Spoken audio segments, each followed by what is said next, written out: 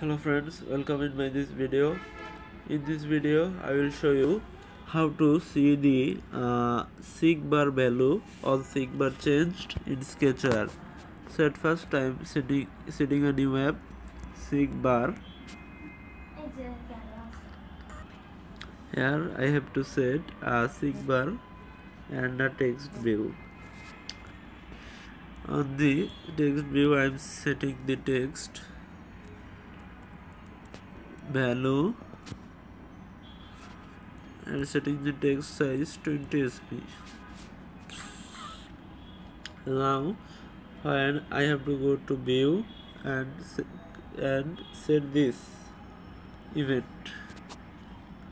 Now go here and uh, we have to get this code. Text view set text. On the text view 1 we have to set the text now on the set text two number with decimal and then we have to set the progress bar value. That means on the text we want set text to string the progress value with decimal. So everything is okay. Now I am running the app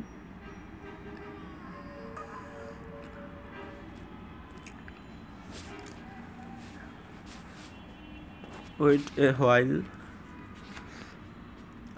Here you see here is the app.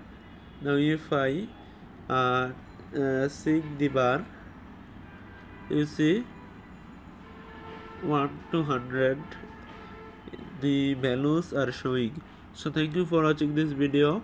You can go to the go to my channel to see the Sketchware tutorials at once everyone.